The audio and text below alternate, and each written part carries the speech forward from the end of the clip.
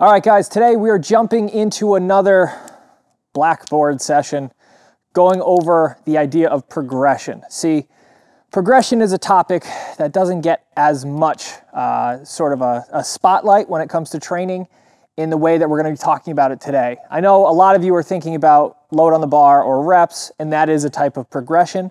But what we really need to focus on when we're talking about progression is what's the goal, right? So for example, if you look at this list and as we go through this list, and if you're a power lifter, some of these may not make sense to you. But if you're just uh, a strength fan or an avid strength enthusiast or someone who just wants to look really, really jacked, we need to start looking at different means of progression in order to make sure that we can maintain that progress over the course of time. And you're not just focusing on only one of these aspects so that you can get more out of your training hopefully stay uh, out of any sort of injuries and continue to get better and better as time goes on. So, as we know, one of the first means of progression, especially if you're a power lifter, is weight on the bar. That's super simple, right? Week one, you do 50 pounds. Week two, you do 55 pounds. You have progressed the amount of weight that you can use on the bar. Very straightforward, nothing super crazy, nothing really you know, much deeper that we need to go into. But one modifier here for weight is you can start implementing chains, you can start implementing bands. If you do a set for five with straight weight, add a set for five with bands, with chains, whatever, you have progressed, right? Very simple, very straightforward. Next one is reps. This one is kind of a cooler one because we can break reps into progressing on a single set. So you do a set of six instead of a set of five that you did last week or the amount of sets total. That increases your total amount of reps. Uh, one of the best rep schemes to progress uh, that we've used here at the compound is a lot of sets of fewer reps, right? You can do 10 sets of two, then you can work up to 15 sets of two, work up to 20 sets of two, whatever that is. The idea is you're getting the same volume, you're getting the same amount of reps in, and you're slowly increasing them, but you're just kind of messing with one end of it versus the other to kind of help you, whatever your goal may be. Next means of progression that I want you guys to really think about is time. And time as a means of progression is really, really cool because there's a lot of different ways that we can kind of focus in on that. I know for strongman competitors, a lot of our events are for a certain amount of time. It's max reps in 60 seconds, it's max uh, reps or weight in 75 seconds, it's max distance or max time, right? So in the world of strongman, this makes a lot more sense. In the world of powerlifting, not so much, but it can still be a tool that you can utilize in your training to help you progress and get better. So what we're talking about here is we can talk about the time it takes you to complete a set. You can increase or decrease that amount of time. You can also break it down into how long it takes you to do each rep. So controlling that eccentric, controlling that uh, concentric, right? Trying to understand and to grow based on the goal that you have. If you're a bodybuilder, you may get more progress out of increasing your total time of each individual set, right? You can break that down even further into time for each individual rep, right? So there's a lot of ways that you can focus in on your training and to understand if you're actually progressing, that is more than just the weight and the reps uh, per that set, right? So for example, if you do a set of 10, that takes you 15 seconds, that's great.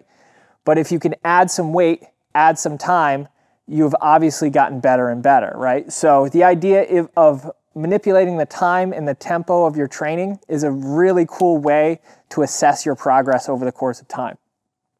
Next one, this may be more specific towards powerlifters, but range of motion. Either increasing it or decreasing the range of motion can be a form of progression.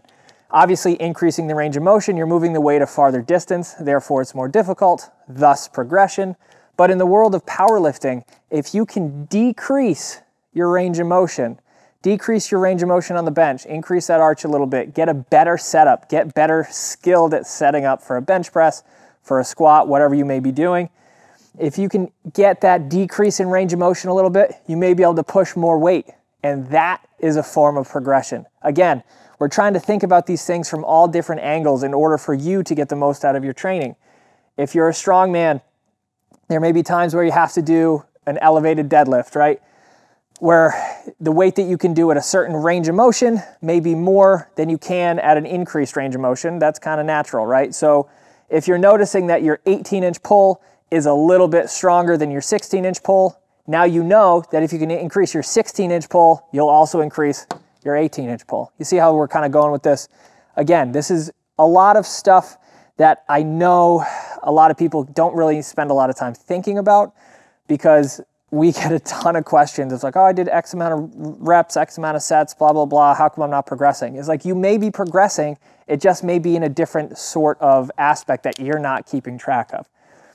Next up, especially for athletes, this is a really great one off season, uh, powerlifter, strongman, decreasing rest periods. That is also a form of progression. This means that you're getting more athletic. It also means that you're able to get more work in in less time. Endurance is a fantastic foundation for your training, especially for off season. And manipulating your rest periods uh, and manipulating the amount of time that you're actually taking in between your sets is a really, really good way to progress for endurance, for off season, for conditioning, for losing body fat, whatever you want to do.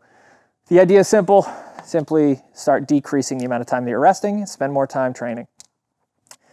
These two, however, are going to be two very, very different ones that I'm sure not a lot of you have thought about.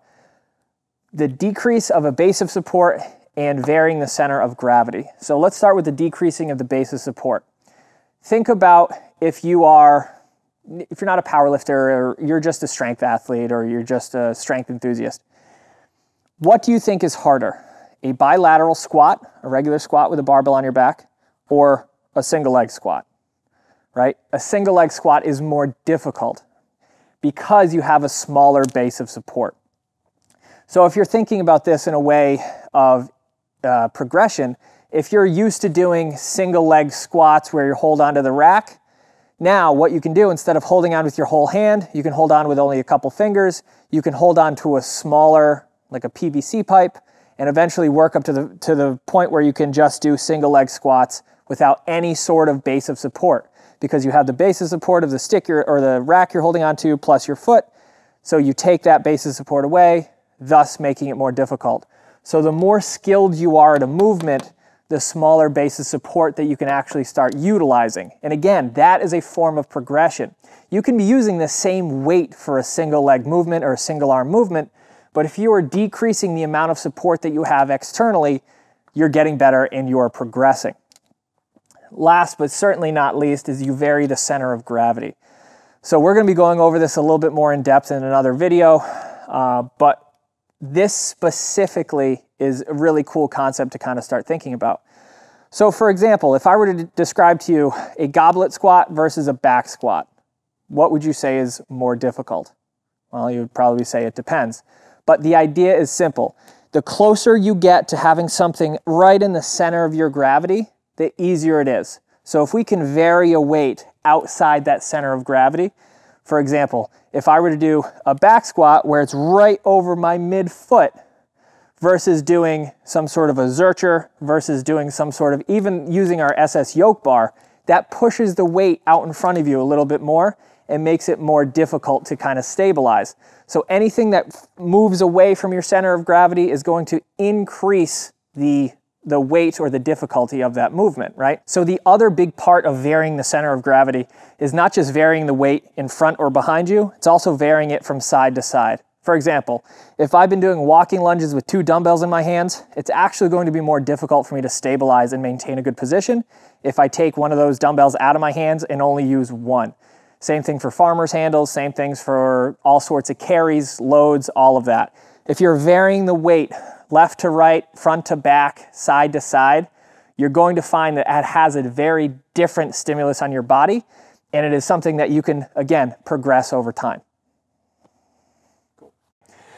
So, if you think about it that way, if you started at doing some sort of a, a front squat, right, or even doing a high bar squat or even a low bar squat, if now you can start manipulating where that bar is placed or where that load is placed on your body.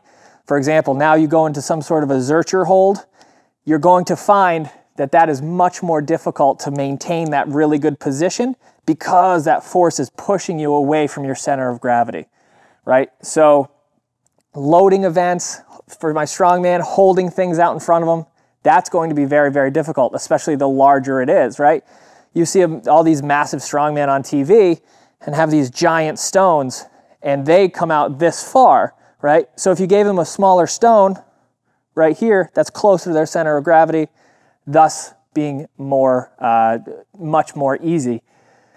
So thinking about all of these things, I know it was a lot. It was kind of like a, a verbal diarrhea at you, but understanding that all of these things can be tracked, understanding that all of these things can be manipulated in your training, and these are all ways for you to look at your training and to understand if you are getting better or if you're getting worse. What you track, you can manage. What you manage, you can actually progress. So at the end of the day, understand what your goal is. If you're a power lifter, time, uh, rest periods, they may not matter nearly as much, right? If you're a strong man, rest periods and time may be one of the biggest parts of your training. If you're just a strength athlete or strength enthusiast, play around with all of these. The idea is very simple. Understand what you're doing, understand where you're starting with that, and understand means that you can get better at those things. So, guys, hopefully you enjoyed this video. We're going to be shooting a whole lot more here, so stay tuned for that. So make sure to like, share, subscribe, do all the things. Thank you very much for watching, and we will see you in the next one.